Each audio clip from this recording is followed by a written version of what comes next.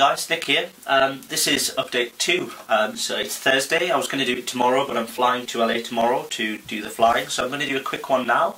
Um, the flying is going to be on Saturday, and hopefully the video will be uploaded by Sunday.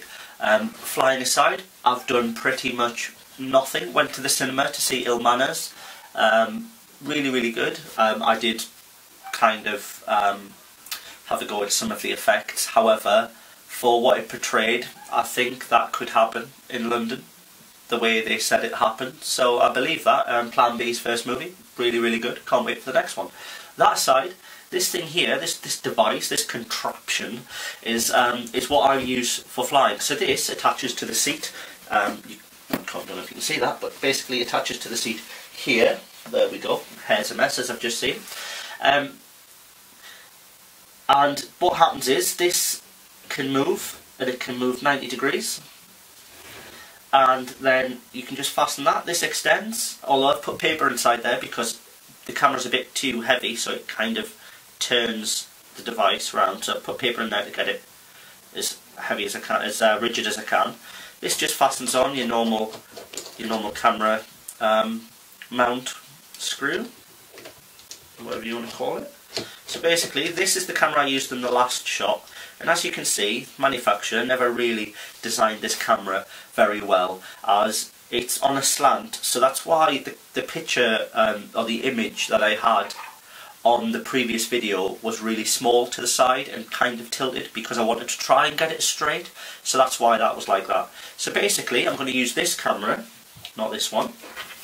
I'm going to plug this um, microphone into the side and then run the wire up to the headpiece so you can hear all of the radio transmissions between me, the instructor, the ground, the tower, um, and then um, I'm going to do the lesson. The only issue I have with this, video quality is fantastic, but the um, the filming only lasts 20 minutes. So I'm going to take my trusted Nikon or for Nikon little device, doofer, remote, button presser, whatever you want to call it, and um, I've just got a message. And uh, I'm going to just keep pressing that every 20 minutes or so, just so I, will know when it's gone, and then I'll just press it again. So it's going to be a little bit hit and miss with what we're going to get, but we're going to get all the good things. Whenever I think I'm doing some good, I'm just going to press. Okay, so um, yeah, that's it guys. I've got nothing else to talk about really. Weather's alright. Um, I didn't go to Miami. I ended up in New York, 16 hours. Just went to bed, had KFC. You've got to love the difference between uh, American KFC and English KFC. They do so much more. We don't. However, KFC fries I love, and for some reason all you get there is wedges. Yeah, I mean wedges they're alright, but the fries perfect, not as good as McDonald's fries. That's a different uh, topic for a different time.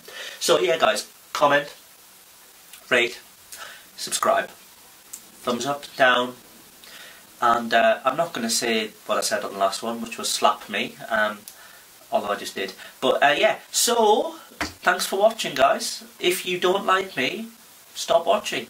Although this is the end of the video, so you've seen it all now anyway. Bye.